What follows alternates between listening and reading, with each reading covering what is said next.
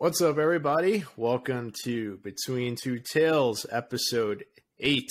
My name is Kevin. I'm joined by my co host, Dave. That means we've done seven different stories so far. Yep. Which is uh, kind of crazy, given yeah. that, you know, Dave and I tried to write one script last summer and we couldn't get it done. But throughout recording this entire thing, we developed seven different stories.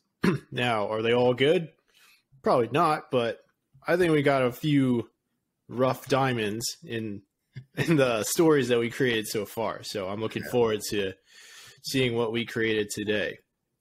But Dave, for all the new people here, um, yes. tell them how the show works. Yes. So for all of you joining us for the first time, what we're going to do, as Kevin already said, we're going to write a story. We have an hour and a half, 90 minutes to do that. Kevin's going to generate five random words, and we have to use those words in some way, some shape or form, have to use those words within the story. What you'll find is those words really do shape and uh, create the story for us. So we just got to kind of roll with them. So you'll see that happen. And at the very end, what we're going to do is match our story to an AI generated story and then see who uh, who wins. Yep. Just to let you guys know, we haven't lost yet. Um, I think last week was the first time the AI actually came up with a semi decent story. And then we said that whatever that AI came up with could have been like a perfect origin story for one of our mm-hmm. characters, right? Yeah, yeah. it's getting so better. It's getting better. I mean, this number yeah. eight, it might be even better this time. Yeah, we'll see. Maybe. All right, so let me share my screen. We will get rolling. All right, one spin. Ooh, I kind of like the clock has started. Creed. Okay. Layout. Okay. Update.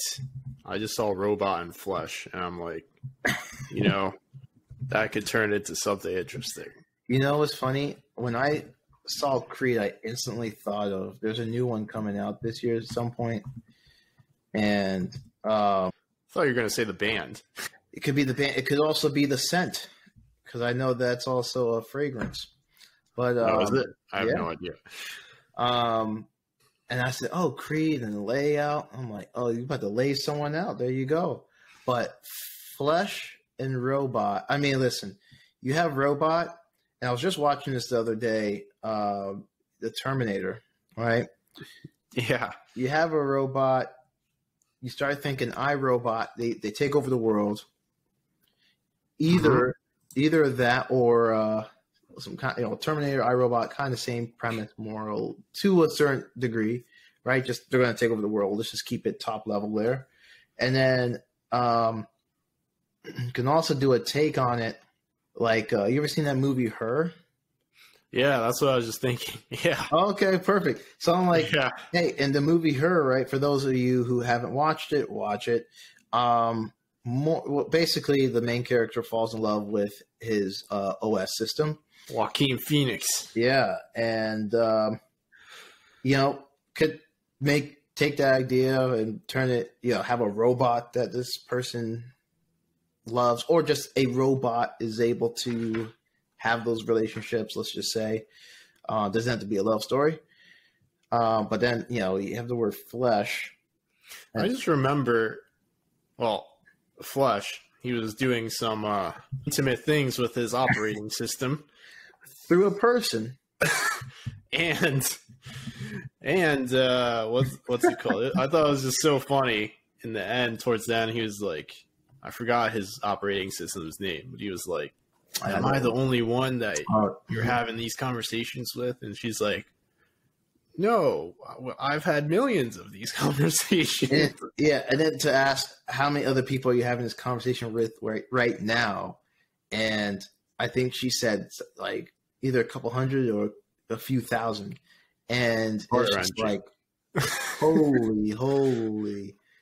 At the same time, um, for those of you, uh, we should also say that the voice um, actress is Scarlett Johansson. Um, oh, I didn't know that. Yeah, yeah. So you know, you keep that voice in your head. So this is who he's talking to, Scarlett Johansson. You know, you you'd be pretty heartbroken too. I know I would. but um, you have the flesh though is such an interesting. I instantly think of bad things, but it doesn't have to be bad. We need a pound of flesh for your evil doings. um, I don't know why, but the first thing I thought, you know, of course, I said bad things. You know, like ripping flesh or something like this. I don't know why. I don't know what my uh, brain is. Flesh. Hmm. And that's also a word that's I don't think is used at as often as you really, when you really think about it. You know, you use other words. You know, skin, uh, beef, meat, so so on. Um, right, right. What is the definition of creed? So, isn't that like a honorable thing? A faith, a system of it's it's like I thought it was more of a promise of, of a type of promise, but let's get the kind of a set of beliefs or aims that guide someone's actions. Yeah, or um, a system of religious faith, Christian. That's what I thought faith. was a formal statement of. Now this has a formal statement of Christian beliefs. We can also just make it a formal statement of beliefs. Um, Oh yeah, the, the, third option here: a set of beliefs or aims, which guides uh, or aims which guides someone's actions. Yeah, that's that's. I think that's um. That's a definition I've always really honed yeah, on. I never really thought of it as a Christian. Uh, yeah, Christian thing. Right, hold on, hold on. So what if there is a lonely developer? I'm with you.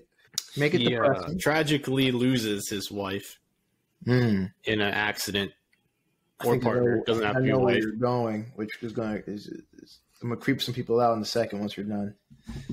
He programs this AI.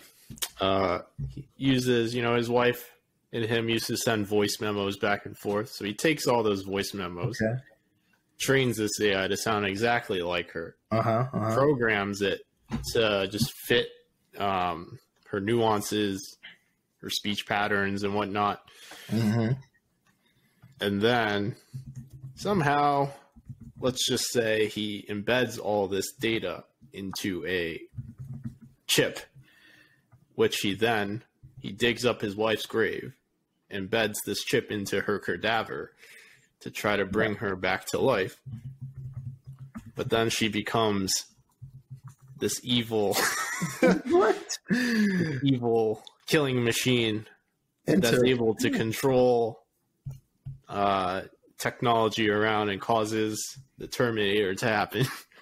Okay, so we take part of the idea, and instead of bringing up her dead body, her cadaver, uh, they, um, you know, maybe in this world, you know, you, he's a developer, right? Or maybe he's some kind of top guy or something like this. That was my way of incorporating Flesh. I just yeah. Well, I'm gonna I'm gonna give you an alternative here, and it kind of reminds me of this Johnny Depp movie, um, Transcendence.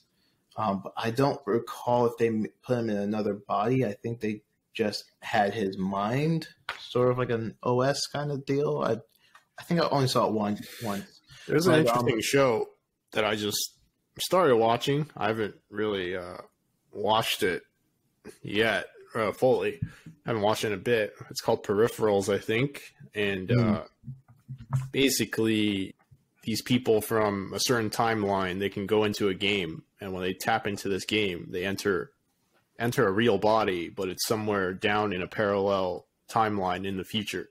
Mm. So they're able to the people from the future timeline they hire people from this other timeline to go do like tasks for them in these in these bodies, which are real.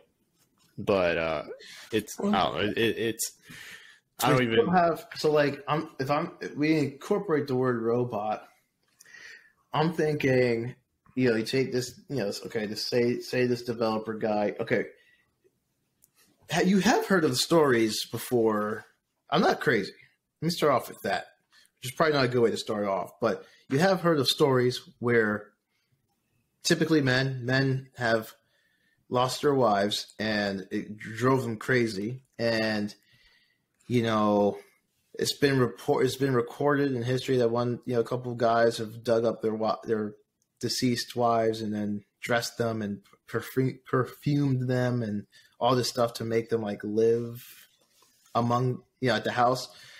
What i saw recently was a guy who made like a i think it was like a wax figure.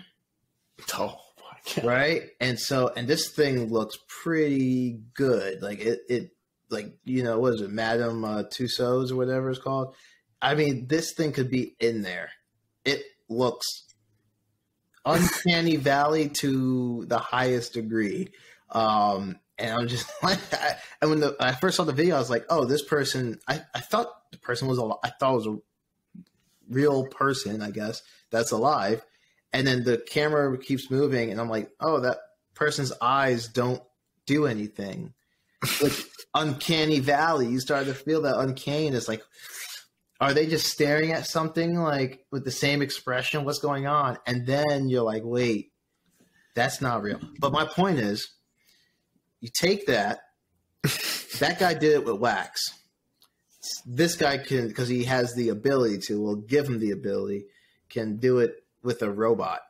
And he puts he embeds you know these thoughts and memories. There was also another movie. Well there was a, uh, a movie or series that was on apple tv something similar you know the actor had cancer or something like this and then want, didn't want his wife to be alone or something like that. I only saw the trailer and i need to watch it but it puts his consciousness into this other thing. I think it is something of flesh like um i, I don't want to say like a, like a well, maybe it's like a clone, but we can just put in a robot, give it flesh, you know, uh-huh. some kind of flesh, you know, made in the lab or whatever. I don't know. Uh huh. And, uh, but then the thing is, it's like, where do we go with the, with a story like this? Like, okay, he makes his wife a robot. Depends on how we want to take it. It turns evil. It lives happily ever after. It um, that's not a good story. It cheats on him. Hold on, maybe maybe when you put the consciousness in this thing, it's not a full consciousness. Like this is more of a discussion on like if you take partial memories and you and life lessons, etc., put it in something else with its own consciousness. Like you're in, trying to embed a consciousness, but it's not a fully formed one, at least not the one off the person that you took it from. Uh, does it have different outcomes? You know, this thing may not love him just because it doesn't, you know, have the same feelings necessarily towards him. Um, I think he can program it to love him, but it'll learn. Yeah, but if it's like to... a robot, you know, let's just say it's a robot in the future that ultimately comes to its own like I can make decisions for myself kind of mindset. Its own yeah, yeah, that's what I'm saying. Like you know, eventually it'll learn. Yeah, it'll learn to maybe fall in love with other people. Right. Yeah. yeah. It could do that and totally crush this man.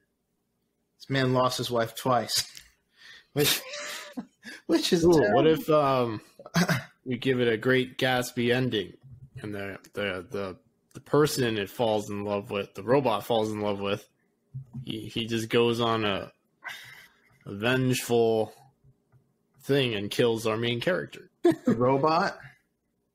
no, no, no. The the man that the robot falls in love with, this the new guy, and to get and that this new guy to well, get.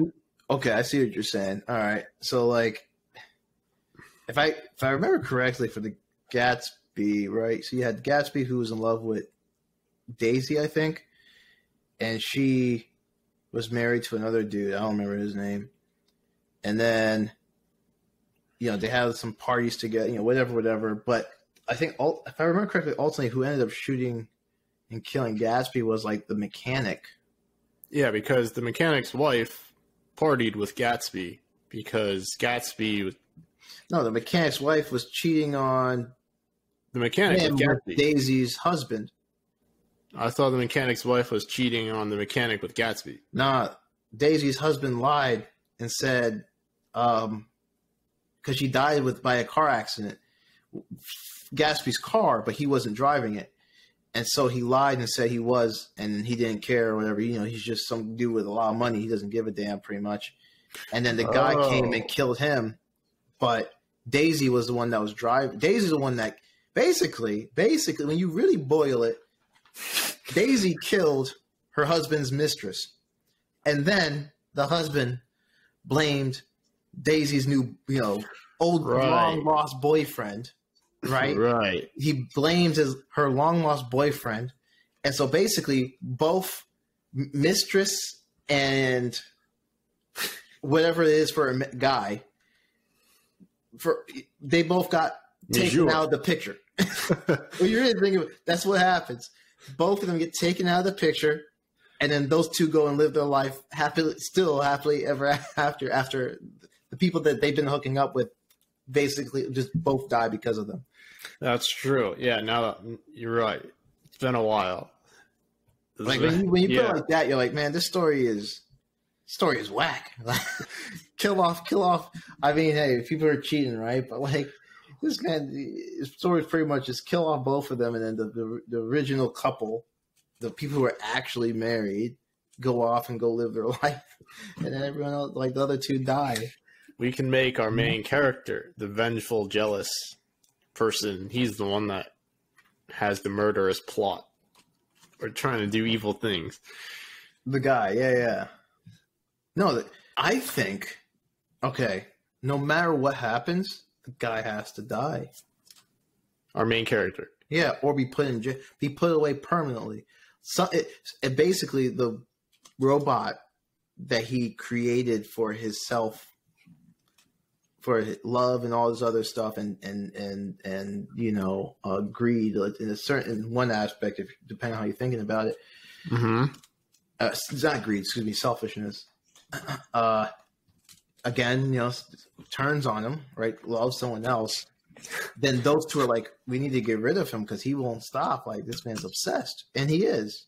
You gotta be obsessed to make a robot of your dead wife and trying to recreate her consciousness, right? So he's, you already know he's obsessed, I got an interesting idea. It might be and then hard. they, and then they together. kill him to get him out of the Yeah. way, so that with a robot, whoever this new person is, what guy or girl, whatever it is, another robot, I don't know. They go and live their life, and they, I, I got an interesting idea. It might be hard for us to put together within this time. But have you ever seen those movies where it's like there's like multiple events happening that like lead back to the it comes full circle, but it has it happens in like a chronological order between like the beginning. Like let's say I can't think of a movie off the top of my head, but like uh, let, let's say the robot goes out and starts mingling with five guys guy number five meets his demise to guy number four, and then guy number four meets his demise to guy number three, and, and so on. It leads back to the main dude somehow. and then and then we go back to the beginning. Oh, I see what you're saying. You're I don't know basically if, saying, I don't know if you could think about a film that that's kind of sequenced in that. Yeah, I don't know if you've seen one like that. sounds like you're saying call flashback to the to the front that will end up showing and giving there'll be more context later on later in the story yeah. um you could we just have to know what the story is so we can give a proper flashback um and then you know just have it be like all right this happened i mean we could we could get through the story and be like all right let's take this section and make it first or, Yeah. you know, do the flashback sequence. You definitely could. Yeah, we could do. We could definitely do that. Um, That would be kind of interesting. Um, update. well, robots need to update. He down exactly. He downloads a new update to to his software. That's right. he downloads a new update where uh, now the robot can have its own agency, and that's when everything goes awry for our main character. and then he goes after Bill Gates. Layout. You know, you can lay someone out. You can lay out something. You can have the layout to the home. You can have Yeah. Layout to the land, layout to. you know, you could lay out the parts to the robot when he's building it. yeah. What if um can make this a little more spicier, add some betrayal to it, I mean, he my boy's getting killed. He's being betrayed.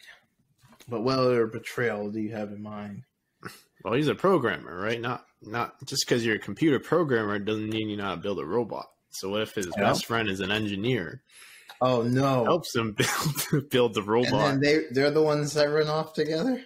Yeah. Oh no! I like it. And when our main character finds out Oh man, his, he's never been this so man, this man is more heart heartbroken. Yeah, he's more hope heartbroken than he was to begin with, just his death. Man, now he's really messed. Up. See, that's this is partially uh, evil. Exactly. You thought about it. I think you started it. Uh, okay. That would be interesting. I mean, Yeah. we're just ruining this guy's life. Oh yeah, I mean, It's not going to be a happy ending for this, this character here. no, not at all. He might commit, you know, the S word. I won't say it. We don't Mm, want to get uh, our, our our video taken down. hmm What do they what do they say? Uh, put an end to his to his world. That's right. Or And- they put the end to his world. Maybe maybe the robot uh, wife. Um, you know, you know. There's some evil stories of of young women. I mean, I'm sure it goes both ways, of course, but I I just remember there was a. Uh, there was a, a documentary of some sort of a girl who pretty much talked. There's a better word to describe it, but talked her boyfriend into like killing himself, committing suicide. Oh, You God. know, but like, uh, I think he was suicidal, and then she it, it, on the you know on the day that he committed suicide, right? They had we were having a conversation, and she she said something something like, "Why don't you just do it?" You know, pretty much like you're just constantly saying you're going to do it, but you're too chicken or something like this, like some crazy crap. And then he went and did it, right? Uh, which landed her um, in jail. Um, so manipulation, right? I wonder if the robot wife manipulates him into ending. manipulates both men. Well, yeah, ultimately yes, but I'm saying for the end of him, manipulates him in the end in that sense to end himself. That might be an outcome, or the thing attacks him, or he there's no you know whatever. Right. Hmm. That would be interesting. How would that work? We don't need to know that right She now. makes him take out a life insurance claim on himself What does a robot need money for, man? for her new her new life with his best friend. She'll just go hack a a, a, a bank AT- ATM. Um, she could probably calculate trades faster than anyone else, anyways. Um, so we have basically our antagonist, more or less, is his friend. I mean, betrayal, but he won't know that Yep. for a I think the, the true antagonist will be this robot. robot wife. Yeah, She'll manipulate his best friend into That's true. thinking that she's in love with him. maybe she is. Or maybe she's just a curious robot. Just just learning with zero feelings. All right. So main mission, I would say, is for Kevin to to uh, you know pretty much bring back and continue to love his wife. Hmm. That's really what that's really what this really comes down to. It's just- You know? I'm feeling a Greek programmer. Let's see what names come up here. yeah, we just get some names. These are two Greek. I'm not looking for people from the Odyssey here. Um, You gotta do it say common Greek names. Uh, Nikos. Mikolos or Atlas. That can't be for today. Oh, it is for today. Theo, Theo. gift of God. Demetris. Demetrius. Demetri, Dimitri. Georgios. Giannis. Constantino. Giannis and Georgios. Heard those before. Um, Vasilis. Giannis. Giannis Antetokounmpo. Um, there's also Alexander. Drew. Alexander. Alexander always sounds like a good, strong name. Alexander the Lucas Great. Luke. Well, Alexander ain't gonna be great in here. This man's about to be taken. Oh, Andrew, Nicholas. And um, his best friend, We'll just name him Alexander. Alexander, his best friend, uh, Deepesh, Vishnu. Indian. Get some diversity in here. Uh, We'll name him Kevin. Kevin Fun, since he's evil. oh, you mean Dave White? Yes, Can't be me. You said you wanted diversity. I agree. Dave White, See, that perfect for a villain. that doesn't sound like diversity, but Kevin Fun, that sounds like diversity right there. Nah, see, that just doesn't sound evil. That's the problem. You're right. David White doesn't sound evil. I agree. No, Da- David Thank. White, you know, when I think about pure evil, the, the name David White just pops up. Uh, Bodhi, Kumar, Neil.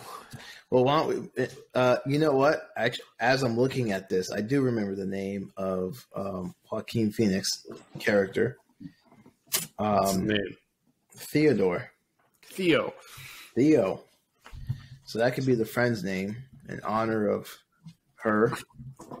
All right. Theodore Theodore, Theo. and Andrew, Who's Andrew? The other dude. Oh, I put it down as Alexander. Oh, okay. Alexander. Yeah, so and we need robot wife name. Alexander with an R-E instead of an E-R. I'm just messing with you. Um, Alexander. robot wife. Alexandre. Um, Mia. That's the eighth most popular name for for a female in 2021. Mia. Mia. You know, we have- friend, you know, Mia is the way to go. We have to use it. All right, Mia. Mia. Mia. Theodore, Mia, Alexander. Now, how shall Mia, the human Mia, Meet her end. meet her untimely end?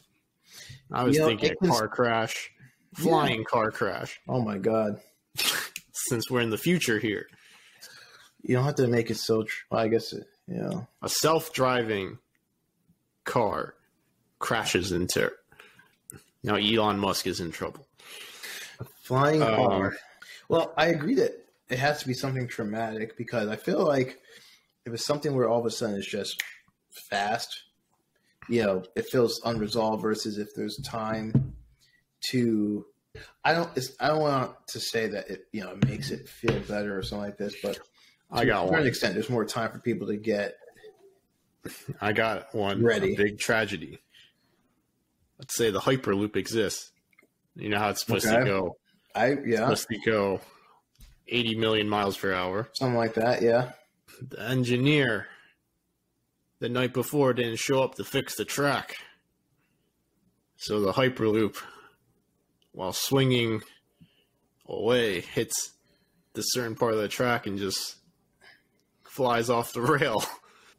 Now it's not only her death, But others, it's uh, the whole cart. Or the I'm trying whole, to kill uh, more people. it's a great tragedy. yeah, well, we can also ground it in real life currently. Um, Someone pushes her into the Hyperloop. it could this could be in New York City, and someone pushes her. Someone robs her and then pushes her into the, the Hyperloop track.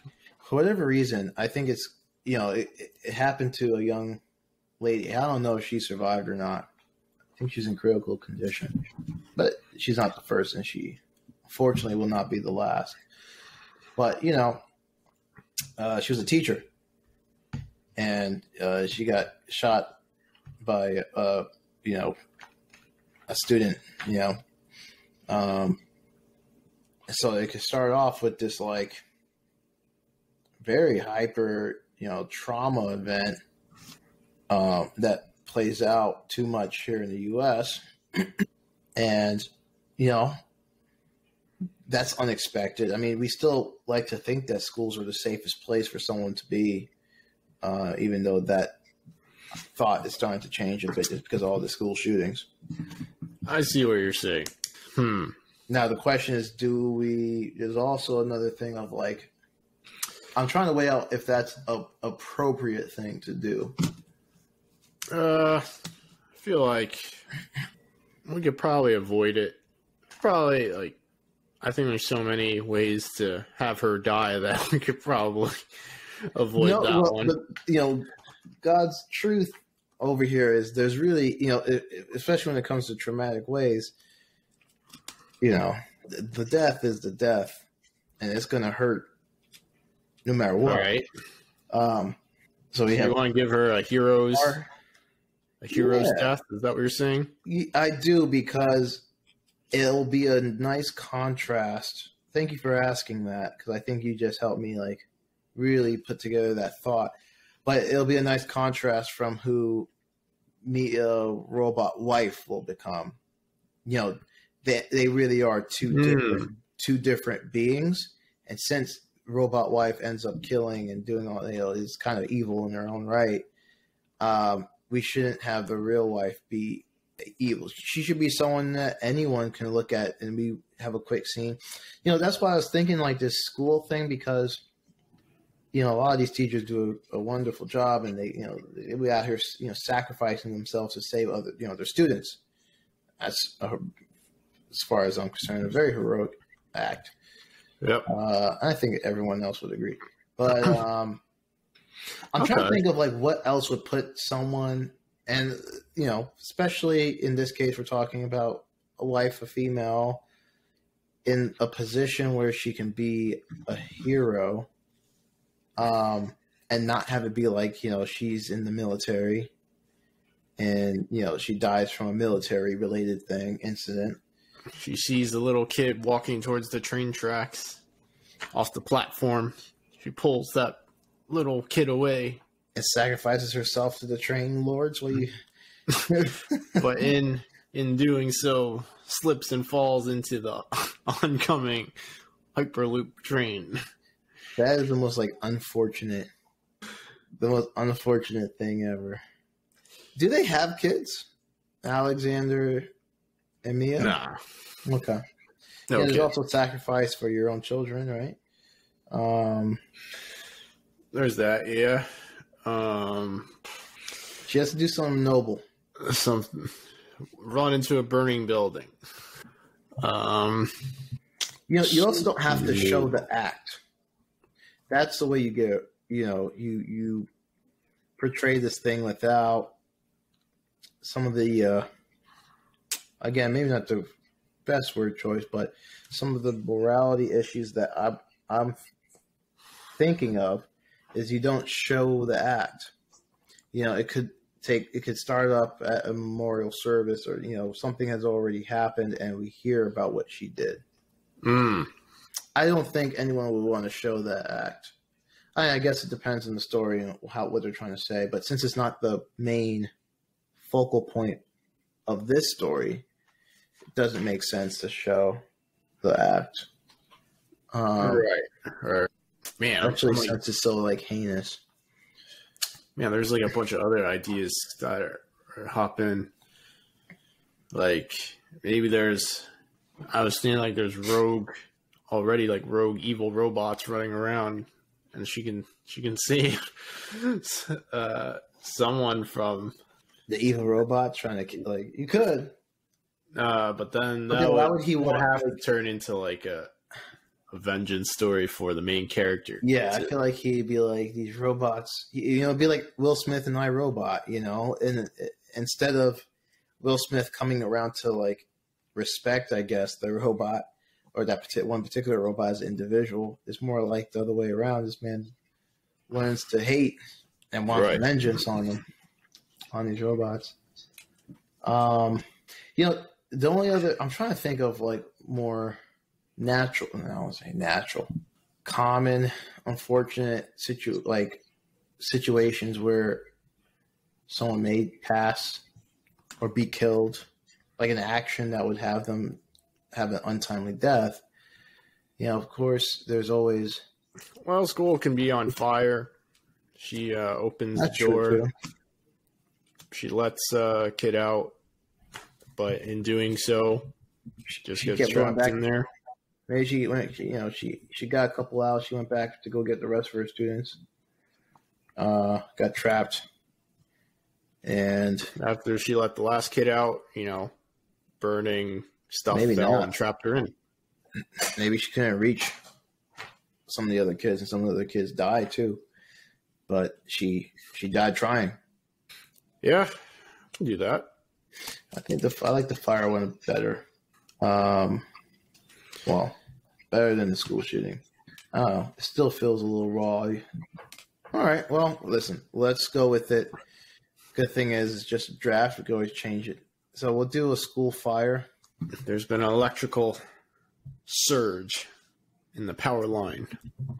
Sent sparks everywhere. Or uh, a uh, oblivious cook left the gas line on, and it just started smoking a cigarette, and it blew. And it blew up. Um, well, we'll, you know, we don't need to know exactly how the fire started, but the fire happens. Okay. So smoke alarms started going off. Or no, no, no. what we can say is, so let's. We could, I think we can start the outline. I think the smoke alarm shouldn't work, and she gets notice of the fire What kind of it. school is this? This man said It's this a, it's, it's funded, not up to any standards school you've ever seen. It's just public school. No, uh, Um, if, if that ever happened, it'd be so, like people are in trouble. There's so many investing, some and it deserve to be in trouble. Um, if, if that ever happened, someone forgot to replace the batteries in their smoke alarm. They get um, I don't think it works that way. Aren't, aren't they like? isn't there like a power source like built into the wall? I would assume. I don't know. I'm sure there's some schools where it's batteries, but um, we are in the Okay. future. so, So, we, we want to we, we want to give it a we want to give we want to start off with the fire, right? So we'll say we'll just say clap for now at least. It's a raging fire. A teacher is in front of the class giving her lesson. No, we should start off as the janitor saying, "What's that smell?" We're gonna get to that. We, Opens We need- the door. we need to establish a, a regular day. They're gonna do like giving a lesson. Kids are engaged. Some asleep or whatever. Who knows? All right. Now, this janitor who's also in this class learning too, alongside the kid, he's gonna open the door and be like, "What? What? What's that smell?" And then he, the whole thing is gonna be disintegrated. Um, what if? What if we instead said you you you want this smoke alarm not to work? The, the one way you could have that work. No, I I want- can either have like a fire that's too wild that just spreads too fast, Yeah. too far, too fast. Listen, she works in an old building. That's not the standard. And then you could have like the fire alarm doesn't work. So what happens is you know, you hear some some some bustling and hustling down in the hallways. She Mhm. ignored it at first. You know, thinks maybe it's just some kids running in the hallways, even though they're not supposed to. Here's a whole bunch more commotion. Maybe some screams at the last bit. Goes out there, looks, pokes her head outside, and see everyone running around. It's like a madhouse, and, and something's on fire further down the hall. Um, and then she, you know, has to go into action. Yeah, Yeah. that could work. She can hear So- someone screaming, "Fire! Fire!" Teacher, you know, hears Teacher uh, next door. commotion, Teacher next door yelling, "Fire! Fire!" com- commotion outside in the hall. She ignores it at first, but hears some screaming. Blood curdling scream of fire. outside to investigate, telling her kids to sit quietly. All right, she finds a fire across the hall, and it's moving fast. She tells the kids to run for their Mhm. lives, for their That's right. souls. If you want to live, run right now. All right. The kids, you know, get up and some begin to make their way out. Make haste, children. All right. Through all this commotion, through all of this uh, stuff, right? The teacher realizes uh, one kid or whatever, let's just say, in the bathroom. is missing. Oh, that's the bathroom. one. Is missing. Another child reminds her that Kevin went to the bathroom. The teacher doubles back She finds and runs into the bathroom. she finds young Kevin hiding in the stall, frozen in fear. That's right. She picks him up. He's frozen with fear. She picks him up. Oh, here we go. Right, picks him up and opens the door to find the fire. Uh, to find the fire has engulfed Her hallway. the hallway. That's right. Yep. She's trapped in the bathroom. All right, I got you. Hold on. Right? Okay. He opens the window that only opens so much. So, like, I remember the windows I used to have in my school, uh, like uh, my middle school, whatever. I don't know why. I'm just assuming she's in middle school or something like this. Those windows, like, you if you had like a skinny kid, could probably squeak through it, but like a, a grown adult, is just dude, you, you can't get out of that window. Yeah, I know what you're talking about. And Yeah. so, like, you know, maybe, you know, instead of having this kid perish with her, as we were discussing, Kevin, lucky you, that's why you're here to write this story. Uh, she's able to, like, get him out of that window, but she sure as hell can't get out. Okay. Yeah. She, That's like one of those those slim windows that's not like she has to like lift them up, right? yeah. I lift him up, put him through, like, it's a tight, even for him, it's a tight squeeze, but it's doable. And let's just say it's like two stories up, so he's gonna survive. But you know, he maybe breaks his leg or something like this. But he lives.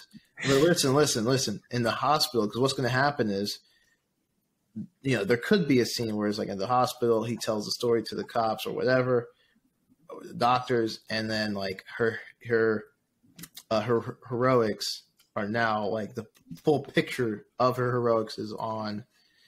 Um, I got I got you. She lifts Kevin up through the window.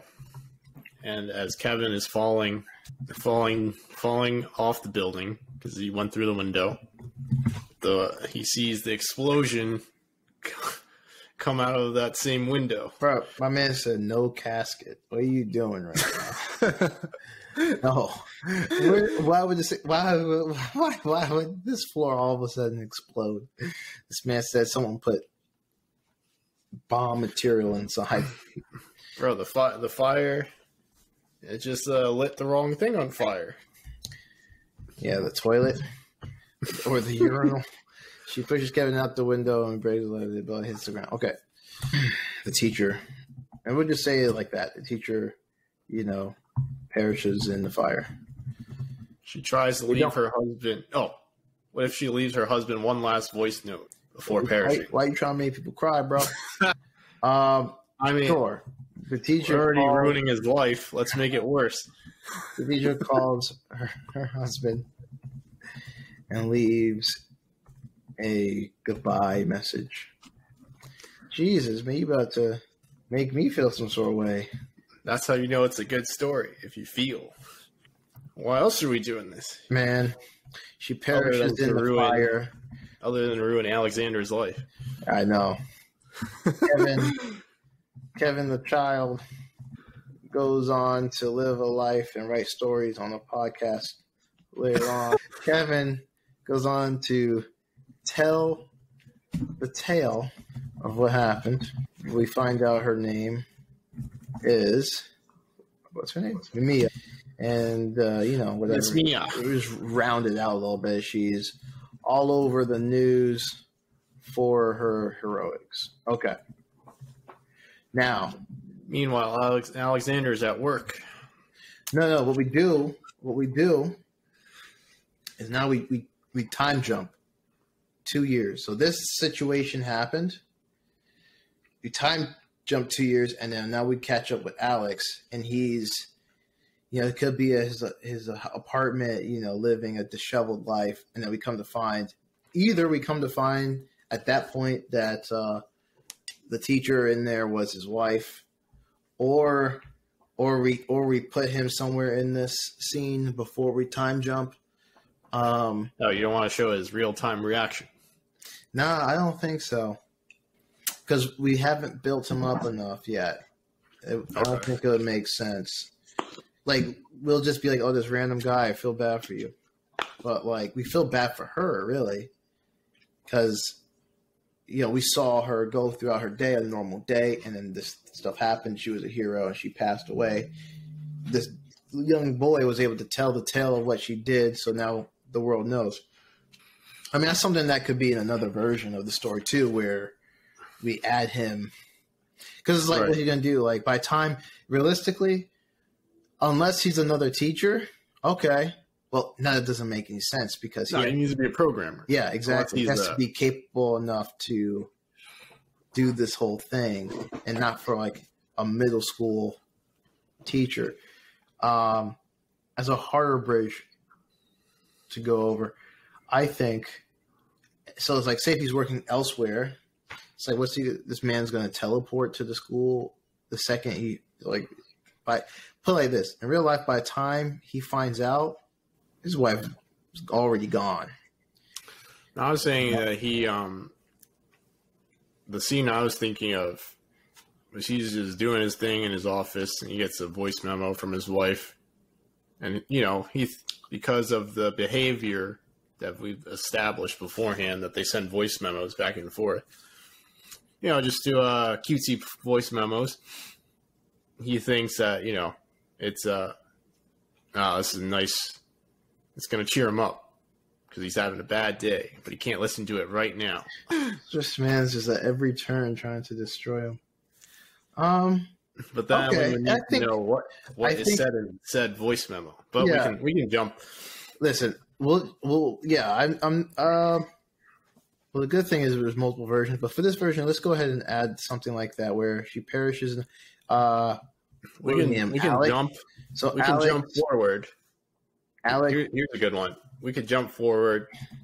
He's like uh, not this put together person anymore. He's he's that's what I'm saying. Yeah, that's why I think he's a, he's would- a slob that doesn't really want to get out of bed. right. I think you were And then onto he- something there. He Like- he he plays that voice memo his wife sent to him every single day. Mm. Man, Out that's of- terrible. Why not play something happier if you get so many? That is, uh, Well, wouldn't you? Wouldn't you I don't like? I don't. I, I don't know because I've never been in said situation. I- but I- wouldn't Wouldn't you want have to like hear your, the last words that? Not over and over and over again. Not not, not over Well, and may- over again. Maybe he's a I masochist. feel like I feel like I feel like I would be like if I get so many, I would be like, oh, let me go back to a day where like she was happy or like life was good and like she sent this love. Not like all right, this yeah. I'm sure you listen to it, but like you don't want what you to. don't know is that he was at the Verizon store that day and he picked up the new iPhone 90, and he lost all the other voice memos, and that's the only one he has. You know what? This sounds awfully close to something that actually happened in real life when I used to work at Apple. Um, that was I was helping this lady, kind of similar. So she lost her husband sometime before, like recent, and she had like an iPhone four at the time or something like this, and she was just like, the whole time we were talking, like she was cracking jokes, like having a good time, like I thought Uh-huh. everything was good. She's just like, yeah, the phone's just not turning on. I'm like, all right, phone's a little old, so like, in, you know, at that time, like iPhone six or six plus, like whatever, I don't know, whatever it was, was out. So it was like iPhone Yeah. four, and I'm like, you know, phone's a bit old, like probably time to update. She's like, yeah, I haven't gone around to it. I'm like, all right, well, let me try to get it on. If not, you know, this phone has definitely lived its life. Um, it might have been like iPhone seven or something, like eight or eight. Like it was like there was a decent, it was like a five year gap. So I was like, it might be time to up, upgrade your phone. So like I try everything, nothing works, Kevin. So I'm like, yeah, you remember how I said you might have to upgrade your phone? Like it might be like this phone cannot turn on anymore. I think it had water damage. Then she decided to tell me only then. Right, the whole time, laugh, jokes, you know, okay, yeah, blah blah. Only then she goes, uh, well, I can't do that. And I'm like, I'm thinking it's like, oh, you don't want to spend money on a new phone. Okay. She says, no, my husband recently passed and those voicemails are on this phone and I have to have See? them. Yeah. This is fantastic. This That's terrible, bro. I, I can't this tell you how based on real life now. I remember that story to the day I died. It's like, oh my god, we have to get this phone to work. Did not get it to work, luckily. But here's the point, sort of. You brought Verizon. She went to Verizon. They gave her a new phone, and because it's Verizon, I think a lot of the carriers do this now, anyways. All the voicemails were just transferred over from Verizon's server. Like they they hold them. Mm. They they hold on to those, and that So was the day where I, I was like, I think they do, but I'm not 100 percent sure. She came back So and told me that all the voicemails transferred over. I was like, oh, thank God. So what you're saying is that Alexander meets you at the Apple store with his old phone. He's like, Dave, I need your help, my man.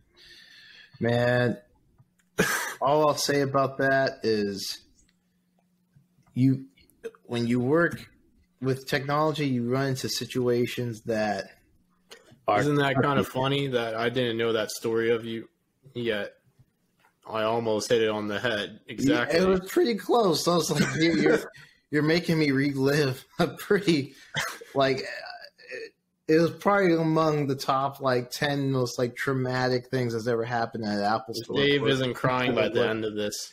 She almost, episode. I'm, I might have shed a tear back then. I think she got, or at least I was fighting back to like, she started to explain the situation more. I was just like, oh my god, like this is something else. I think, I think I was either holding back a tear or, or I had to go in the back and just let one escape. I was just like, oh man, this is we we gotta see what we can do. You're not crying by the end of this episode. Nah, man, she Not because that because I lived through that. Now I'm have a hardened uh, exterior and, and interior, all of stone. Uh, so he looks well groomed, put together, but he doesn't listen to the call. To the call. Okay, so I just All right, maybe he listens to various voice memos. All right, we, we won't we won't let him listen to the one traumatic one. We'll we'll let him. We'll give him some some relief in his life. In the morning, he li- he listens to the voice memo where his wife tells tells him good morning, blah blah blah blah blah. Mhm. I got your. I got your breakfast made for you, your favorite breakfast. I hope you have a great day. He starts his day, yeah, with something along those lines, right? Starts his day listening to the voice memo, uh, pretty much saying, you know, have a great day, and I love you. Uh, I miss. I, I love I'm you. miss I you. love you forever. Can't wait to see you when I get back. I thought you said you were trying not to give him grief. that going pretty long, could you? Uh, it's two years later. Right now, morning. Alexander's getting ready for work. I have to listen to the voice memo, right? So he listens to it. He then gets ready for work. For work, he's he's a man without without think without, without a will to live. I think we're building a reputation for giving our main characters horrible lives. Now that I'm thinking about it, That's okay. I mean, listen, we have to give them something to either fight back from or succumb to. Unfortunately, it sounds like we're going to make Alex be a victim of his horrible situation. but you know, that's the thing. Sometimes such is some- story. Such is such is life. Sometimes you put the chips in, you win, and sometimes you you end up losing. Uh, with the will to live, or wi- without the will to live. Okay, whatever. Goes to work. Now we have to be able to bridge. About thirty minutes. We have to be able to bridge this gap of he's sad. He comes up with a plan that actually might give him a little bit, you know, put a spark in his eye again, in a sense because he's the update of this uh, from his company of the what if what if this technology wasn't working right you know what i mean like the technology to do this wasn't working correctly what if it's a secret like a secret project that his company was planning on releasing. He knows he since he's working on it because he's a talented programmer he knows the potential of it. And he he connects the dots and he sees the potential that this this uh, code, this program, could quote unquote bring his wife back to life. Because maybe it's a code just to generate like uh, I don't know an AI assistant or something for general use yeah. for companies or something, and then so he's working on the code and he takes he copies it and then he refines it on his own without uh I mean under under under the company's without the company's uh, guidance or supervision. Right. Yeah, I mean, without them knowing. Um, he all right. I'm trying to bridge a gap of like, why would this man in the position that, for whatever reason, I have him in mentally, he wouldn't be aware of what they were up to. Um, no, he is because he's he's a he's a programmer on the project. But he and he's gonna and, it, and on this particular day, just dawned on him like, well, as soon as he, it could, that they're rolling out this new program. Here's what it's going to do. He's been selected to be a part. Oh, okay. Of like the, the testing. Yeah, to to okay. build it. To build it. No, no, no. That yes. Also, is what I'm going to say is he's also been tapped on the shoulder to test out the AI capabilities of this thing. Yeah, so he can take the code like in his more personal life, like like, hey, we want to see what this looks like when you have it out and about in the real world. Like, use it and report back to us flaws and whatever, like what you what you find. Okay. So he goes to work. He's I'm gonna do like some skipping, but he's been tapped on the shoulder to test out the new AI to be a beta tester. Yeah, yeah, exactly. For the new AI program in the real in the real world. Um, you know, is to report back. Report any. Let's use some programmer knowledge. Language. Report bugs. Yeah, sure. Report any bugs. Report any fixes. Report bugs and you know just general thoughts. I mean, let's. But here's the thing. All right, let's say, you know, we could also say like, all right, he's doing this. He's like, he doesn't really see an application for it, or that's not what I mean. What what I really am trying to say is, he's doing it, and he's like, okay, yeah, this is what's what works. Is what he's fixing. Blah blah. Like it's very much it. about the work until something happens, the inciting incident. Something happens, and he's like, wait. I got you. The yeah, idea I, of like I can actually I think I could use this for my own purposes. I got you. Go ahead, hit me so, with it. Let's say they give him uh, because you need data to train AI. Let's say yeah. they give him a vault of a vo- like a vault of voices, like a, a default voice to take oh, home. Oh God, yeah. And he he he realizes the power of it because he trains the AI on this voice. Let's just say it's a Morgan Freeman voice. So he gets Morgan yep. Freeman's voice now he now he's able to program it um, and like play around with it when he realizes that the AI is taking the speech patterns and forms of this voice. Like every, it's perfect, near perfect. Everything it's saying, he can have simple conversations with it, and it'll sound like Morgan Freeman's talking to him. Uh, and that's when he's like, "Wait, I have years of voice memos. That's right. From my wife. Now I can have Morgan Freeman and my wife in, my, in my house. Yeah. He learns slash realizes he can program it to sound like his wife. And he does so. So now, you know, this thing has become a bit closer to him.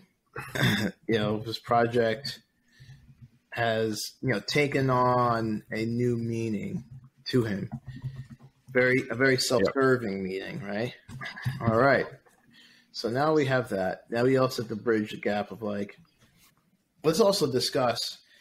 Uh, one of our words is robot, right? So okay, yeah. So He's got his engineering he's, buddy. he's- yeah. So uh, his engi- was it what we what, The- Theo? Theo, Mr. Theo. So we have 23 minutes, so we have to do a little bit of jumping, right? But now this project takes on new meaning. So that's just the AI conversational aspect of it, the voice. Let's and- just say Theo sends him a project that he's working on. He built like some humanoid robot. nah, Theo comes over to Oh, to to like have a drink, a drink with Alex. I see where you're going. Alex shows him hmm capabilities of this AI. Let's just say, since we jumped a little bit, by this point, he's able to have full conversations with this AI, but it's just on the computer, right? Or on the phone. Like it's not a physical thing, right? So It's it's like Alexa or Siri, right? exactly, right? So he show Alex shows him the capabilities of this AI. You know, he's uh, he's wait, able he's having conversations with his wife. Or yeah, yeah, yeah, yeah. Okay, okay. at this point, like we're, we're jumping a little bit, but he's able to Okay. hold convos with his wife. Theo um, Comes up with the idea. with, yeah, with the idea that we can turn her physical. Right? And so Alex, more or less, jumps at the opportunity to do so. Then we have a montage of them doing all this stuff to like build it. I think where it starts to take a turn is that they have to kind of take turns with this thing, so they're able to have some alone time with it. Oh, don't do that, Kevin. I like it, but that's you really hate this guy, but I like it. Okay, So- It, it makes perfect sense. like it does. He- It Theo's got to build the thing, so he has the AI there. He's like talking to it because he's bored. He's like, "So are you really Mia?"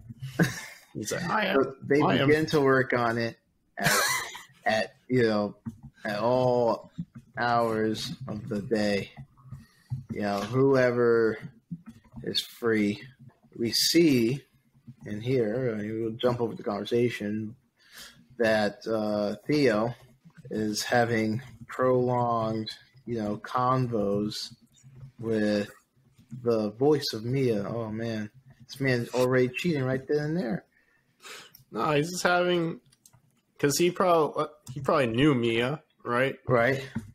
So he's just having conversations with it because he's like freaked out or he's curious. He's like, Yeah, I mean, Wow, it, this it, is- logically, you know, probably start off with curiosity and so on, and then work its way into like this other thing. So, I mean, we're doing some skipping, but yeah, like we, there would have to be some time to build. Um, and but you know, it, it seems like they are developing a relationship of some sort. Doesn't mean starts building a friendship. friendship, right? You know, a, you know, and I'll just use the word relationship just to be kind of general, not specific. But they're building a friendship. Um, okay, so that happened, right? Mm-hmm. The day comes, Yep. and Mia is in the flesh. They finished. Oh wait, I got one more thing. Hold on. They begin working all hours of the day. Whoever is free, they lay out all of the parts to the robot and update her OS or whatever. Right then and there in that same one, we use like three of the words. So we got robot, we got flesh, we got update, got layout.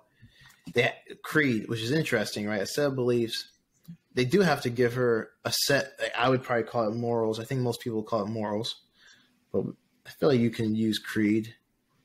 Um, yeah, they can pre-program like Alex probably pre-programmed like certain yeah. things just so that the robot kind of acts and behaves like Mia.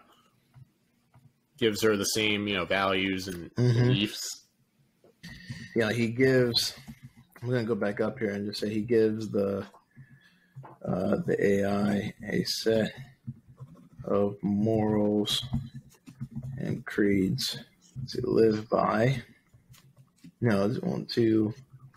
I even say to live by, to to think by, in a sense. All right, whatever. Uh, the day comes. I think that's all the words used, so it's perfect. We got 17 minutes at the top. So the day comes. Mia is in the flesh. Mm-hmm. They're both happy about this, obviously, but we need to move it closer to the relationship by this point between, or you know what? All right, in a very like quick way, the way I kind of foresee the next few things happening is like Alex and Mia spend time together. They're they seem we have to make it seem like life is on the up. Like what he wanted to get out of this is what he's getting out of this, right? Because you need to have you can't just have constant downward pressure. Like there needs to be moments where it can come back up. Of course. So Yeah. it's like uh, he could have, you know, th- they spend time together. They're building and continuing this relationship. Life seems good. Then one day, you know, they're going to hang out for whatever reason innocently with Theo. Theo and Mia talk again, and you know they had time to talk before they were building a friendship, and then we start to really apply the pressure on their relationship or their the beginnings of uh, infatuation or you know however it starts. See, I was thinking, you know, because Mia's a robot, she's obviously going to stay at home. Man, why She's she like, gotta stay at home, Kevin? What's a robot going to do? Go to work. So she's like, you know, just doing uh, robot things at home. Maybe Theo has to stop by Alex's house or apartment to drop Oh, something off. He sees sees Mia, says hello. They start having a conversation, and Theo's like, uh, "Mia, would you like to go to lunch with me?" And Mia's like, "Sure, Alex." Or sure, Theo. So I got like this because you're an evil man. Alex is spending time with Mia. They seem happy and they're building a relationship. I'll just let that be the generalization of a whole sequence of events that would take place in that chunk where you can Mhm. actually see that. Okay. Then one day, Theo stops by because Kevin, Kevin just wants more pain. Theo stops by and asks if Mia wants to go to lunch with him. Mia, Or he, he stops by because he has to drop something off. He's not there just Sure. to ask out Mia. yeah, I say he stops by and say for what? You know, we. I'll just keep it a little general. Trying to make Theo sound like an evil man. he just turns evil. We gotta start moving because there's a lot more like we gotta parts. do. You know, he's drop off parts and ask me if they like to go to lunch. Mia agrees to go. Theo uh, begins to ask questions about her parts.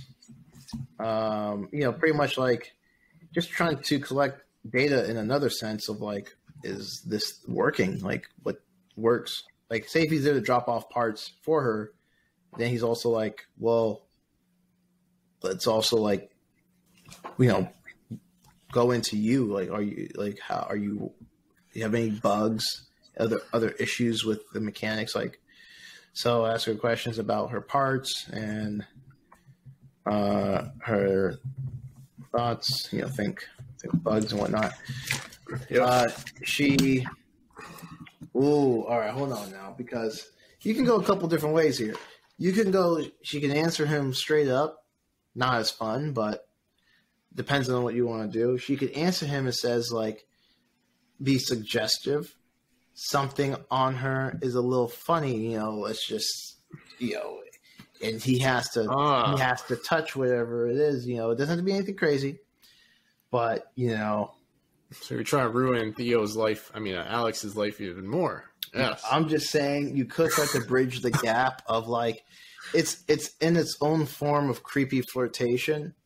Um, but she can ask to robot come over. started it, or She can ask to come over to Theo's house to get something checked, or start leading the the conversations I think she can lead it. Okay, I mean, yeah, maybe that's where that happens. You know, maybe in this first conversation, is more. Maybe there is a legit problem, and Theo's like, "Okay, I'm going to take you back, and then we'll get fixed." Like at his actual workstation, you know, at his home. Because what he's going to do, like in the middle of like lunch, he's going to be like, "All right, you know, In doing so, he has to undress Mia to access the robot Stop. parts. Obviously, because she has a problem with somebody part. okay. Uh, the, the Theo- part on the small of my back. yeah, you Fine. know, whatever. Fine. Leg. Theo says, uh, Theo lets her, you know, tells her they will go back to his place to um, correct the problem. You have to remember, since this is a robot, and then you know the way it would be portrayed or written towards to be portrayed is just like no, this this is like someone taking a car back to the to the house to like work on it. You know what I mean? Uh, so it tells her to take it back to his place to correct the problem. While there, Mia has other motives. Wow, so Mia's turning evil now. I, I, I kind of want Mia to want to be the one to kind of. You said she's manipulative. I want kind of. I think it would make sense for her to be the one to kind of instigate the charge on this thing, and then Theo, you know, you know, this man succumbs to the flesh, so to speak, in a biblical sense. But yeah, he's kind of Mm. succumbs to her advances in a sense. I mean, it is a robot, and a robot, you know, with the AI system that's probably outsmarting both of them if they if she really wanted to. And you know, she knows how to trick a simple being. I got the tag her. Sexy robot manipulates two simps. That's more or less what, what we're creating. oh God. Um, so she starts being um, and tells suggesting. There's ten minutes, so I'm gonna just make some moves. I'm gonna say out loud. While there, Mia has other motives. She takes off her flock, her her frock, her clothing, and I'll just speak in general terms. Uh, makes a move. You know, something suggest, suggest suggestive there. Theo is confused, but comes Feels like Cupid has shot him with an arrow. so it comes to her manipulation. he okay, and, and then since you have nine minutes, I was gonna say he over the course of some time um, begins to love her, and He it, starts it appears she loves him. he Whether starts going true, over there when Alex isn't is at work Oh no, he comes frequently. comes over when Alex is at work. Oh my god. And so now, but here's the thing. One day, Alex comes home early, Mm-hmm. finds Theo there, Uh huh. and asks what he's, you know, doing over his house. Alex comes home early to surprise Mia with something. Comes home early to have a surprise date with Mia. All right.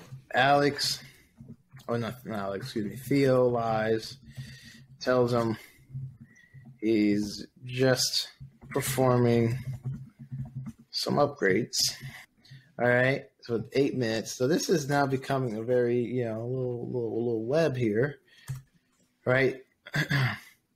so what, what's, what's the gap that we kind of need to bridge, right? So he's, you know, this is like the first case of lying to his, his buddy and then it kind of turns, you know, in a sense, it kind of turns into your classic little, you know, scandal slash, you know, uh, betrayal story or cheating story, right? So you got the little cheating bag, you know, you got some more cheating going on. Alex is um, um, suspicious. Um, so Theo continues. Theo and Mia continue to cheat. Alex is suspicious. Because we have seven minutes. We have to bridge kind of this gap here. And this is Figure where, out a tragic ending. yeah, right. Alex is suspicious. Okay, so then, you know, that's a whole sequence in its own. But then we have this moment of realization. I would think, or let's talk about that. Is it a moment of realization? Is it, you know what it is? Mia tells him she doesn't love him, and she loves Theo, and that that right there begins the pure destruction. Like it, it burns a hole in this man's heart. Ah, Mia tells that's when that man hits rock bottom. oh, oh, have the whole the bottom is pulled out from behind, from below him. He's falling into the abyss. Mia tells Alex that she loves Theo. Not sure how, but she does. And she wants to marry him. Alex is distraught, right? Alex begins to question life. So you have this thing where, you know, he's distraught and I rock bottom. What does he do? Does he I would assume he tries to win her back. You know, he has to he has to deploy all the things he could possibly, you know, anyone would kind of do in real life, right? Tries to win her back. Maybe the, the the the programmer way to do this. I just asked myself, how would a programmer try to win back He tries to upgrade AI her, robot? and then that becomes like a little mission in itself. Yeah, like he he makes a code to try to overrun her current code. Okay, yeah, I'm with you. So okay, he tries to win her back. That doesn't work. He then comes Try up. the human way first. Yeah, he tries the human way first. Then he comes up with uh, a code to um, Overrun her system back Right. to the original one. to when they were- override our system back to loving him. he stops by Theo's house. We have four minutes. We're gonna. He's gonna die at Theo's house, by the way. right. So he goes by Yeah. Theo's house and sneaks in uh, while they are asleep, and we can have a conversation around what asleep looks like for the robot, but you know, shut down um, while they're asleep. plugged in. He gets to Mia and you know plugs in his hard drive or whatever, his thumb drive, and she wakes up. This man thought it'd be so easy. Now everyone's awake. Mia wakes up, causes a ruckus. and a fight ensues between Alex and Theo. battle. They so we have this whole battle sequence. They stop fighting. Alex has finally come to the realization that she's gone. Hmm, interesting. That she's gone, like mentally or whatever, hardware wise, gone. He can't seem to find meaning and blows his brains out. Uh, I thought you were gonna have Theo kill Alex. See, that's some that reason. evilness that only uh I it could oh look, we got two minutes. How do you want to end this? we could uh, any one of these ways could work at this moment. They just th- there's a lot of emotions going on here. Alex think, Theo um, could, could kill Alex. Alex Alex could kill everybody and set this house on fire. Oh man. Then it's like burning his wife again. Holy. That might be some I think that's it. symbolic stuff right there. He Alex takes the- lost his damn mind. Um, Alex takes the blowtorch. Um, Alex knocks out. This is what he's gonna do. He's gonna knock. He knocks. He knocks out Theo. Audience is unsure whether he's dead or not. Like we won't go too far. Is unsure of if the you know if if the hit was enough to to kill. Um, it cripples in a sense Mia, like can't move or something like this mhm. then sets the house on fire with him in it. He doesn't even leave. He doesn't even care. He's done. The end. Takes the blowtorch, sets everything around. Got 49 seconds. Was there anything else you want to add to that? This one definitely has some more jumping, but I it's it's actually pretty good bones. I think. I I don't think we And we, we didn't the end, foresee.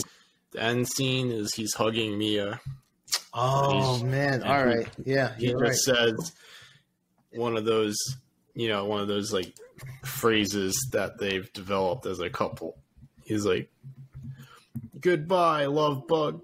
He's hugging Mia as the flames engulf them, telling her he loves her. The end. And there goes the timer.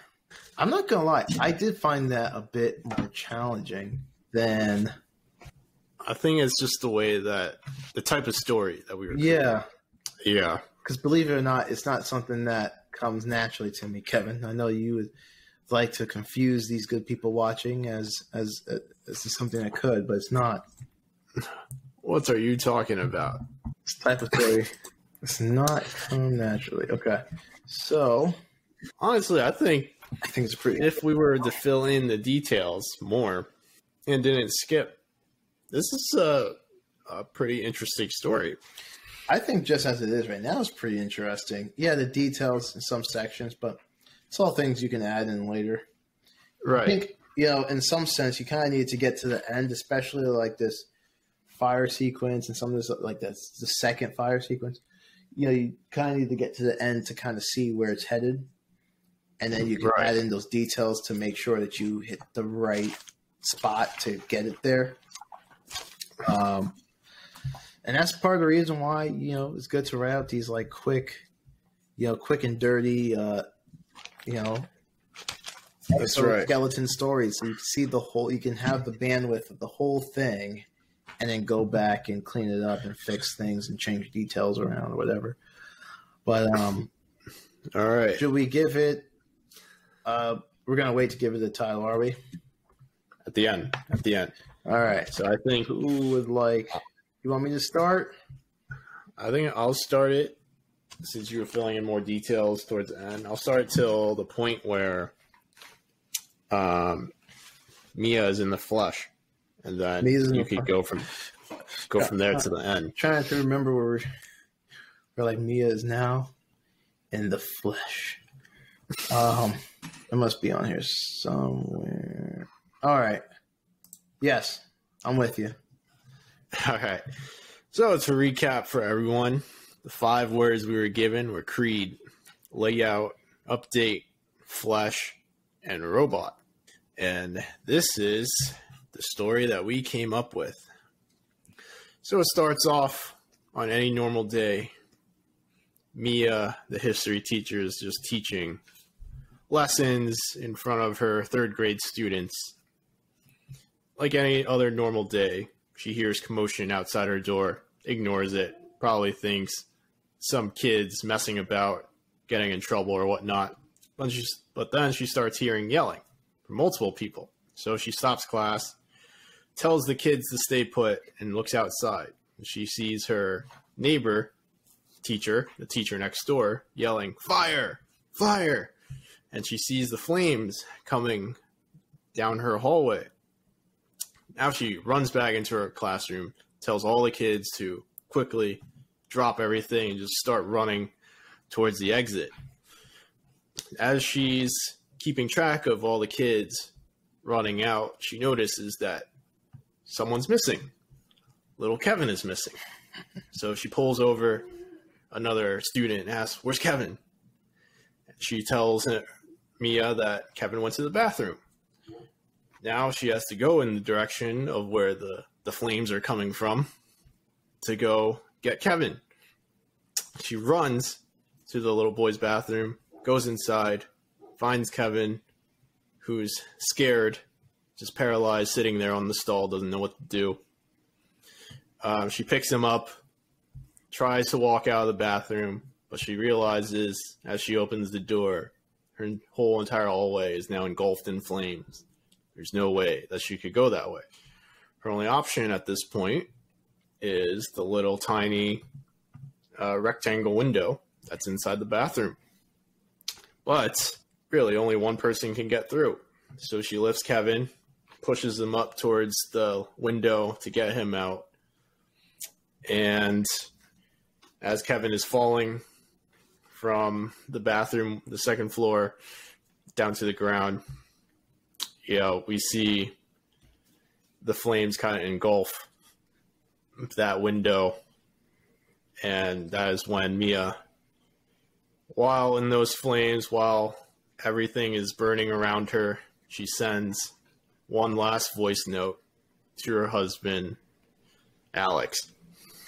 Now we jump two years in the future. Alex waking up to an alarm, grunting, doesn't want to get out, makes himself get out, makes himself get dressed, comb his hair, clean up, whatever, plays a voice note from his now deceased wife, one that says, Good morning, I love you, hope you have a great day. He goes to work, you know, just every day is just monotonous to him, doesn't know he's living for. And he gets pulled pulled aside to test a new project in the company that he's working for. They want him to be a beta tester for this new program that is eventually going to be rolled out as um, an AI assistant for all businesses to do all sorts of occupations. And this is the, the foundational program. So he takes it, he gets the takes the data that comes along with it to train the AI. He has a Morgan Freeman like voice. It's like, oh, this is cool.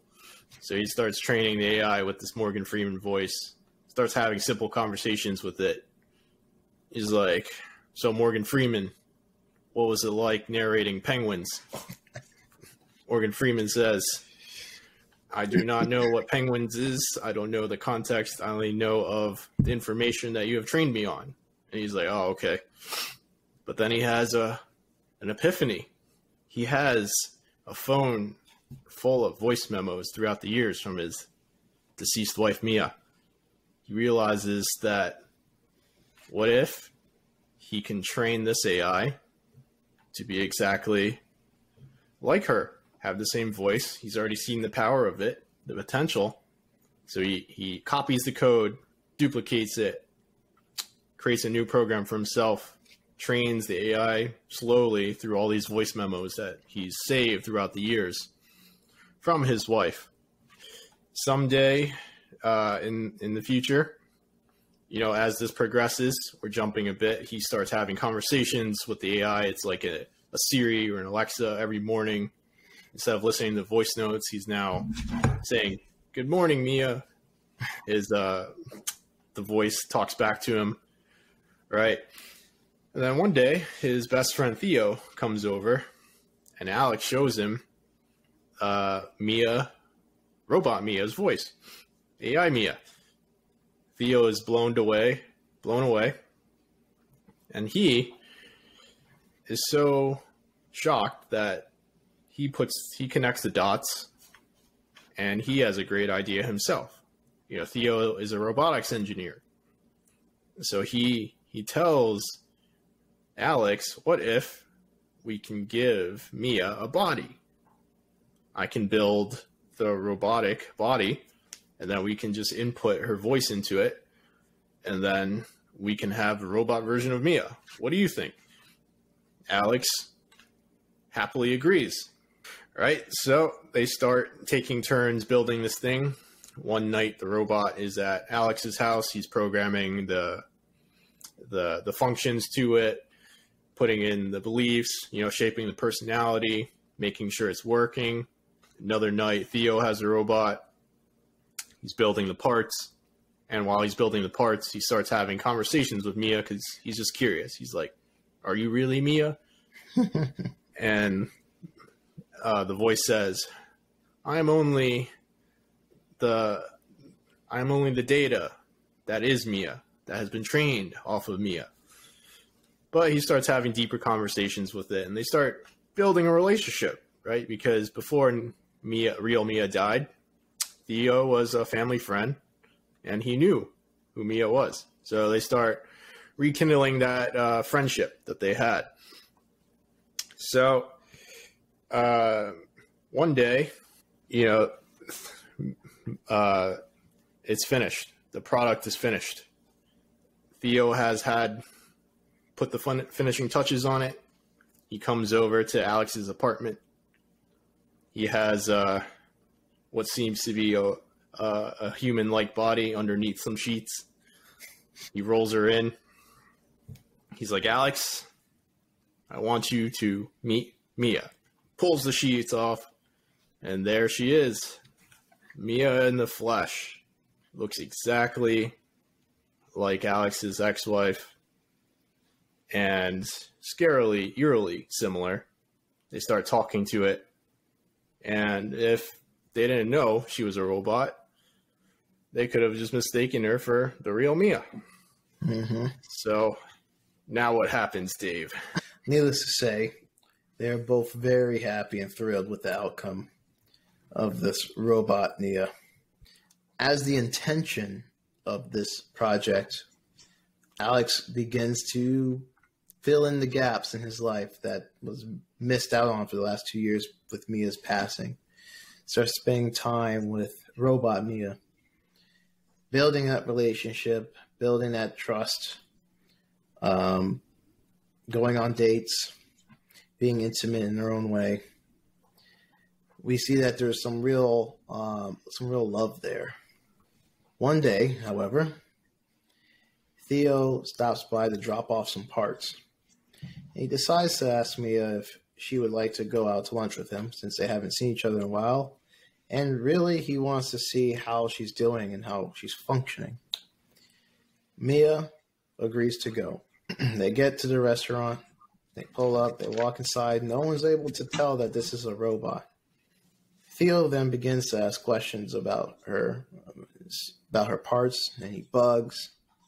She says she is having a problem, but she can't show him right then and there in front of the, everyone in public. Theo, though, thinks it's a little bit strange, but understands that no one else gets that she's a rogue and agrees and says, Why don't you come to my place? We can go ahead and take a look at this problem and get it corrected. While at their place, Mia appears to have other motives. She's playing a game of, of flirtation with Theo. She decides to go ahead and show him the problem, which involves taking off her clothes.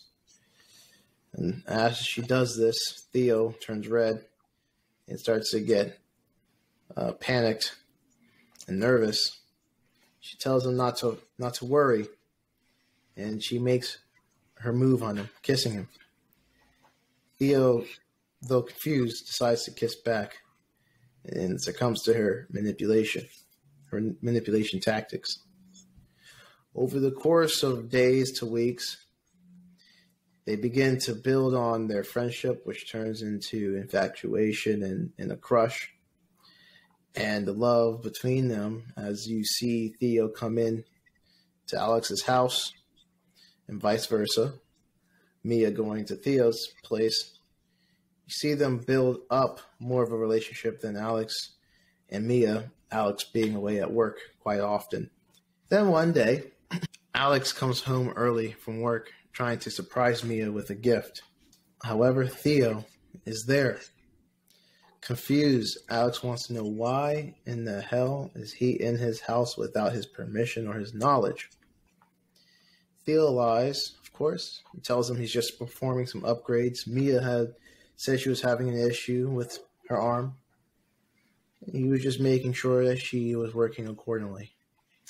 Sus- however suspicious Alex may be, he decides that that answer was just good enough. His, his suspicion will remain, though. Theo and Mia continue to cheat, this time more secretively, without Alex knowing. Alex, like I said, remains suspicious. Mia, one day, so as we see them going back and forth and continuing to cheat, this time more more sneakily, Mia decides it's just time to come out clean to Alex. As it's, so as the suspicions continue to grow and the arguments continue, Mia tells Alex that she loves Theo. She didn't mean to. She doesn't know how it, it happened this way, but it is this way, and She has plans to marry him. This leaves Alex distraught at rock bottom. It's like he fell into the abyss. He already lost one wife. Now it appears he's losing another. The same wife. He tries to win her back, tries to bring her flowers, tries to do everything a, a man would do in order to try to regain his wife. However, all these advances don't work, and she reaffirms that she loves Theo and that he should just go on and live his life, move on. But we know that Alex isn't able to move on. He then comes up with another plan. He begins to work long hours into the night, into the early morning, coding. At first, we don't understand what it is that he's coding on his computer. And we realize that he's actually coding an override to make her love him, as if something out of Cupid's arrow, if it were possible to strike, to, to, to struck someone and make them love you. He thinks through coding it is possible. He wraps up his coding one late evening and decides to sneak into Theo's house where Mia has been staying. As they are asleep, Mia, of course, is plugged in and is in deep sleep. As Alex goes to plug in the thumb drive, she wakes up, shocked, confused, in a defensive mode, trying to figure out why he's sticking this thing into her. Everyone wakes up and becomes everyone becomes well aware of Alex's intent that evening of trying to override her. Theo decides that he needs to stand up for his new woman and tell Alex he needs to leave. Alex can't take this. He can't lose again. He can't lose her again. And they engage into a fight between each other. Eventually, they stop fighting. And Alex, lying there on the floor, comes to the realization that she's gone. For the first time in this whole story, he realizes that she's truly, truly gone, no longer his. And in his point of view, what's life? It has no meaning without her. Alex then decides he only can do one other thing. He knocks out Theo.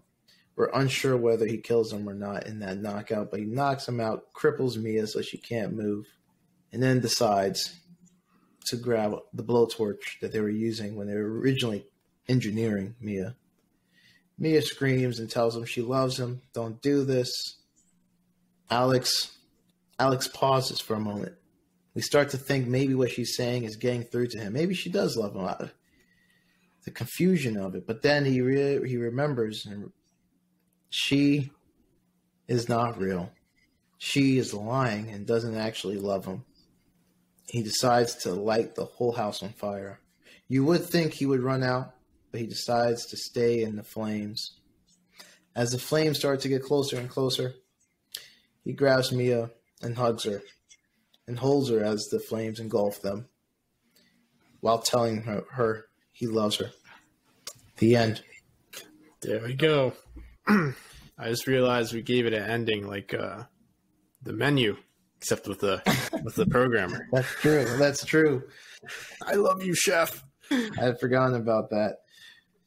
But uh, it began in flames, and it shall end Hey. in flames.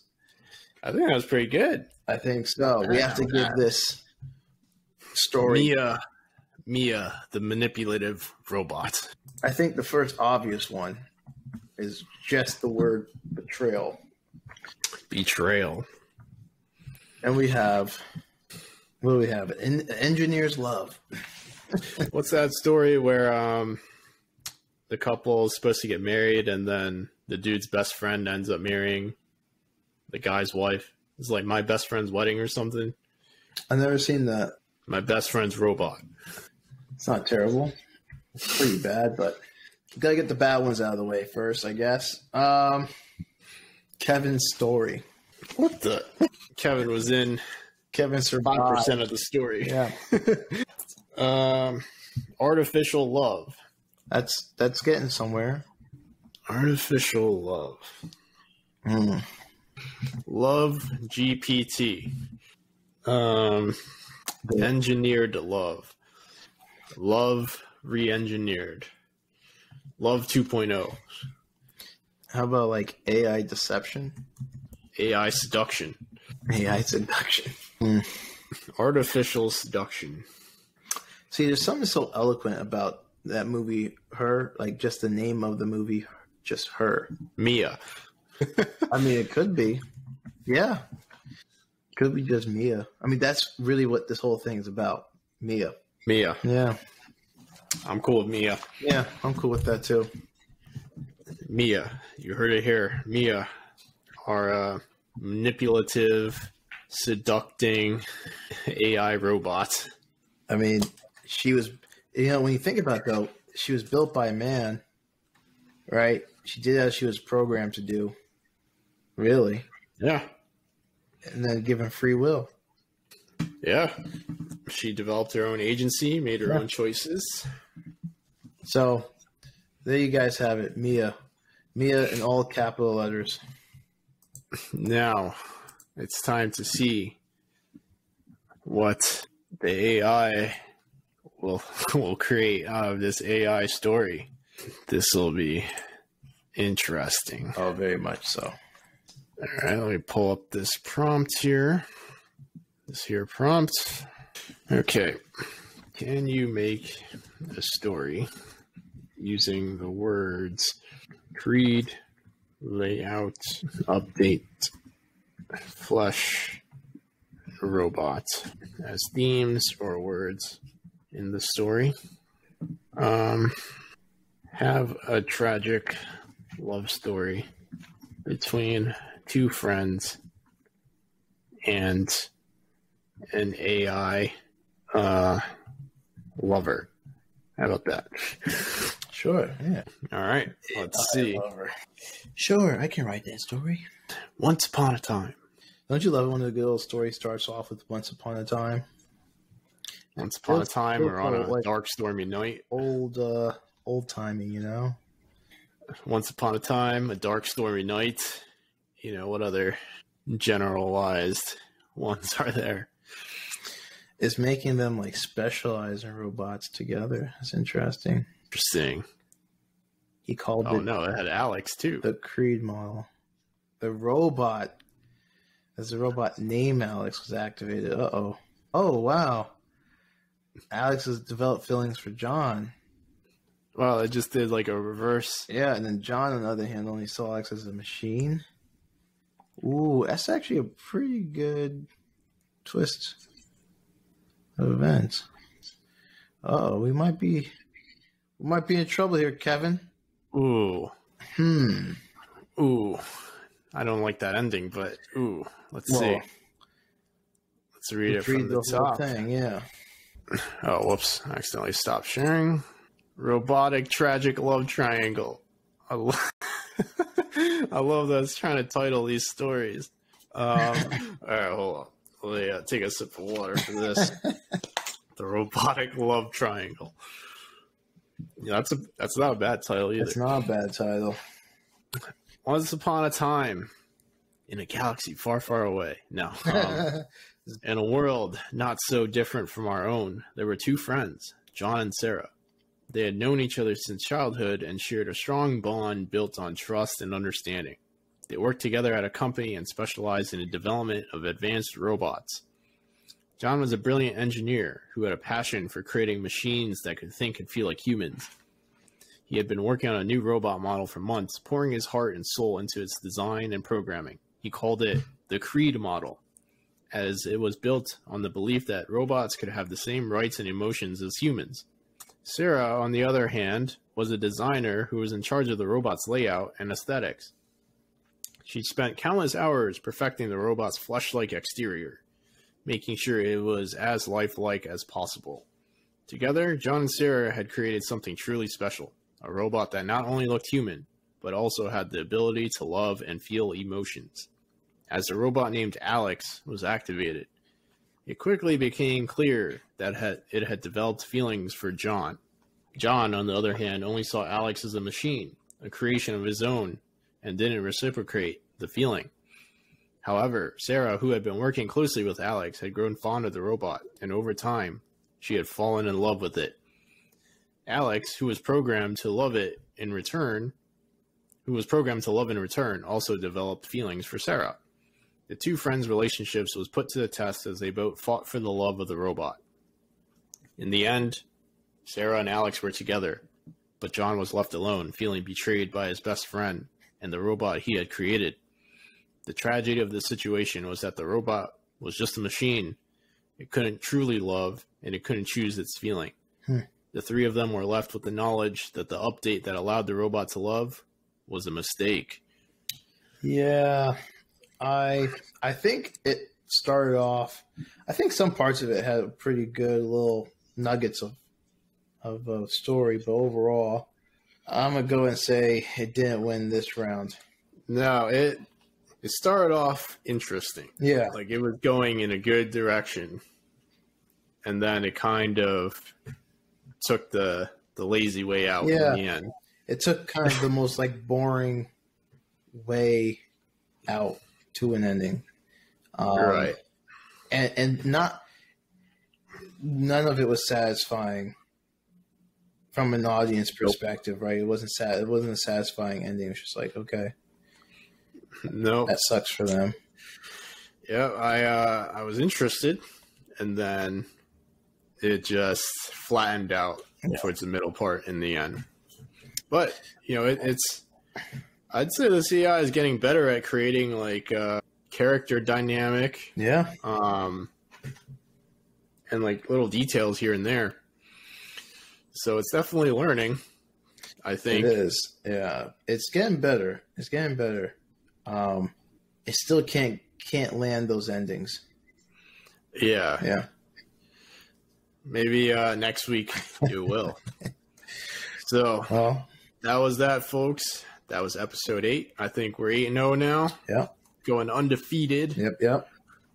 Um, that was the story of Mia, our uh, manipulative robot who manipulates a poor programmer and uh, his best friend, his engineering best friend.